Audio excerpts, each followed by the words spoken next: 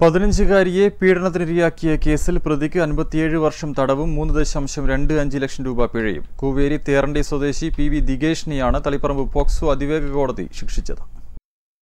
രണ്ടായിരത്തി ഇരുപത് ജൂലൈയിലാണ് കേസിനാസ്പദമായ പീഡനം നടന്നത്. പെൺകുട്ടിയെ പ്രലോഭിപ്പിച്ച് വീടിന് സമീപത്തെ റബ്ബർ തോട്ടത്തിൽ കൊണ്ടുപോയി പീഡനത്തിനിരയാക്കിയെന്നാണ് പരാതി.